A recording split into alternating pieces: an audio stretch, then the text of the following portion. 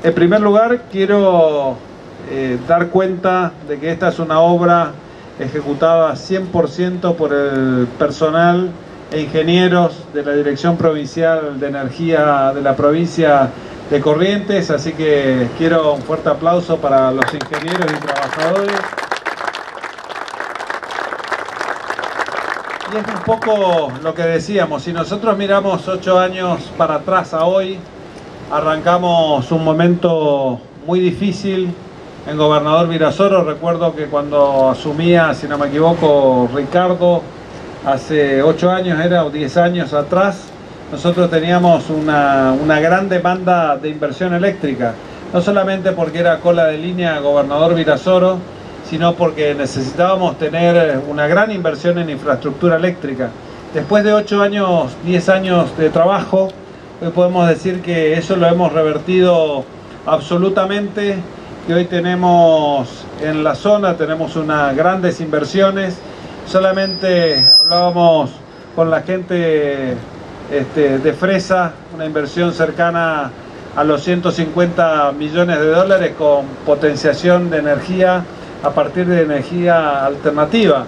Eso tiene que ver con la, una promoción que ha comenzado desde el gobierno nacional que permiten este tipo de inversiones y que cuando nosotros tenemos políticas que sean claras hacia el desarrollo, la inversión aparece. Pero hoy queremos celebrar y agradecer la inversión de la, de la compañía de Fresa, porque hoy estamos eh, y están avanzando en una obra de puesta en marcha de la otra, del otro 50% de su planta, que según nos contaba eh, el ingeniero Sobrado, estamos poniendo en marcha, si Dios quiere, y no pasa nada, ¿no? Estaríamos para el 24, que es una muy buena noticia porque vamos a estar incorporando la generación de otros 40 megas. Por otro lado, era un compromiso del gobierno provincial poder acompañar toda la inversión en infraestructura energética, que son obras como estas las que vienen a, cambiar la matriz productiva. No hay posibilidad de que ningún ninguna empresa se pueda instalar en la zona si no tiene garantizada la energía eléctrica. Nadie va a instalar eh, energía si no tiene, perdón, empresa si no tiene potencialidad energética. Eso es lo que queremos eh, lograr a partir de la inversión del gobierno de la provincia de Corrientes y luego transformación energética.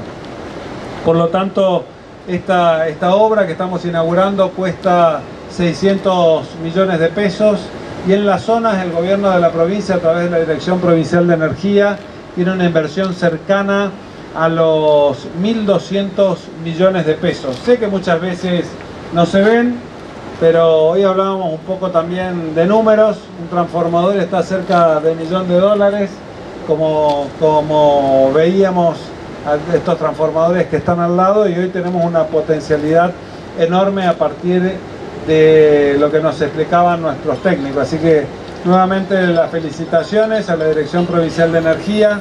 Sabemos que tenemos que seguir invirtiendo, que lograr una estación transformadora no es distribuir la energía, tenemos que seguir invirtiendo con compromiso por parte de la EPEG y la Dirección General de Energía de, de inversiones fundamentalmente en baja para evitar los cortes en los domicilios y seguir trabajando intensamente para mejorar la distribución.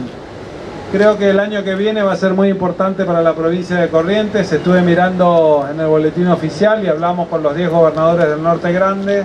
Van a haber potencialidades para la provincia de Corrientes, que podamos estar recibiendo licitación pública de nuevas empresas que se quieran instalar, como en el caso de FESA, que apostó a la provincia de Corrientes que creyó en el gobierno nacional y que pudimos realizar este tipo de inversiones. Corrientes es una de las grandes potencialidades de energía alternativa, tanto a partir de biomasa como energía solar, que esperamos estar concretando el año que viene y seguir trabajando, por supuesto, en el desarrollo de la provincia. Así que apostar a energía, tener energía disponible, distribuir energía eléctrica es creer y trabajar en el futuro de los correntinos. Así que a seguir trabajando y felicitaciones por esta obra que realmente nos va a traer y seguir trayendo desarrollo en toda la región.